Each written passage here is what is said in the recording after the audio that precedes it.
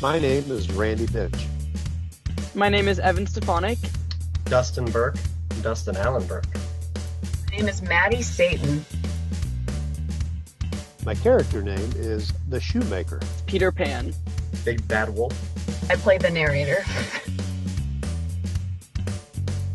it's a good show for everyone, but especially like young kids sitting at home. They would love it. Adults would also find a lot of humor in this show. I think anybody would enjoy the show, especially right now. I think people just need kind of uh, really stupid humor to kind of take the load off, and so that that's definitely what this feels like. And I'm not saying like the show is stupid, but it, it's definitely humor that just it makes you like.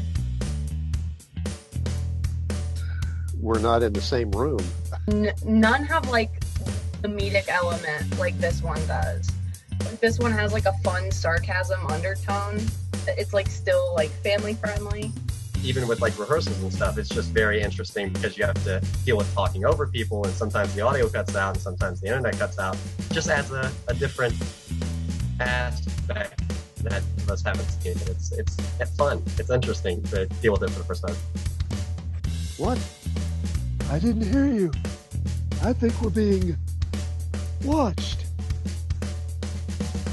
It depends on the way you look at the world, but I always think even if there, even if one might think evil won or whatever, um, there's always good parts to everything. So I think good will always win, no matter how, like no matter what the actual circumstances are.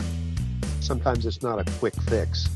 Sometimes it takes years. Sometimes it takes decades. Sometimes it takes centuries, millennia before uh, the good can actually triumph over the evil. But it eventually does.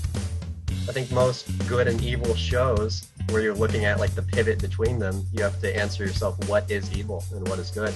And so I, I think, you know, throughout this show, we kind of go back and forth. And I'm not going to give away anything, but we kind of go back and forth on it, like a lot of superhero shows. It always does triumph over evil. May 1st, May 1st. May 1st. Show is May 1st. So, mark your calendars. you can watch it on YouTube because it's going to be live streamed on YouTube and you can talk about it later with all of your friends and family and share the links with them and you can just talk about it as a family and maybe even do your own Zoom meeting afterwards to discuss it. Second turn on the right and straight on to the stoplight.